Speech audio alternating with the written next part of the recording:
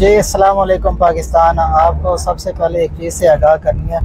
ये हमारे साथ वलीद भाई। तो, वालेकुम सलाम। अच्छा तो अभी मुझे वो बता रहे थे कि एक शिकायत है जो यूनिवर्सिटी के बारे में तो मैंने सोचा कि वो रिकॉर्ड करके बर रास्त आपको भी दिखाऊँ। जी भाई। यार आज ना मैं अपना फाइनल पेपर देने गया दूसरे सेमेस्टर का। ठीक है कौन सी यूनिवर्सिटी में? एनएफसी मुल्तान। ठीक है। ठीक है एक बहुत बड़ी यूनिवर्सिटी है सेमी गवर्नमेंट यूनिवर्सिटी है। बट इनका एक जो निज़ाम है ना ठीक है। वो कुछ भी नहीं है। नहीं मैं मतलब वैसे ही क्या अकाउंट मसला है ऑफ़िस चला गया मैंने कहा यार तीन चार महीने हो गए या तो मुझे मुफ़्त पढ़ा रहे हैं ये। अच्छा। मैं चला गया मैंने देखा वहाँ पे मैंने कहा यार मेरी फ़ी नहीं आई। कहते फ़ी तो आपकी आई हुई है।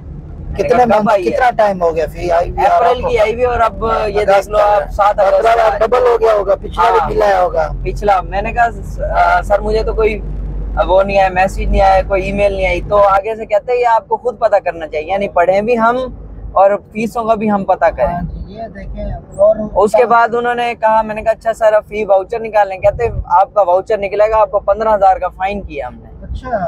मैंने इस बात पे आपको- आपको फाइन किया गया हाँ? जी फाइन किया गया जो है अभी हम बैंक जा रहे हैं जी जी ये फाइन भी समेत है। हाँ उस पर मैंने सर को कहा मैंने कहा सर को ये आप रिक्वेस्ट है आपको आपने एक तो बताया नहीं नए स्टूडेंट है हमें नहीं पता इतना। तो कहते हैं चले आपका हम फाइन कम कर देते हैं।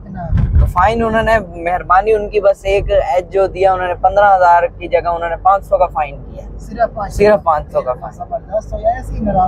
लेकिन यार ये देखो ना कि बताना भी तो फ़र्ज़ है ना उनका ये पाँच सौ भी आजकल किसी के पास मुफ़्त पैसे नहीं है असल में ये अभी तक मेरे ख्याल से मैनुअल सिस्टम हाँ। हुआ है कि स्टूडेंट खुद जो है खुद अपने तरीके से पता करे हाँ। फ़ीस है या जो भी तरीके तरीकेकार है उनका वो मैसेज वाला सिस्टम नहीं है कि आपको हाँ। याद यानी रिमाइंडर दिया जाए कि आपका फ़ीस इस महीने शेड्यूल आ गया तो वो वाला शेड्यूल है नहीं। ऐसे ही है।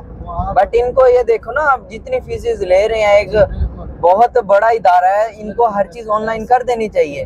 अब तो प्राइवेट यूनिवर्सिटीज में ऑनलाइन है। हाँ जी बिल्कुल। ये तमाम यूनिवर्सिटी को गुजारिश है कि जो अगर उनको पैगाम पहुँचे हमारे चैनल की तरफ़ से तो ख़ास ख्याल रखें। इस तरह तो लड़के बदजन हो जाते हैं माहौल से।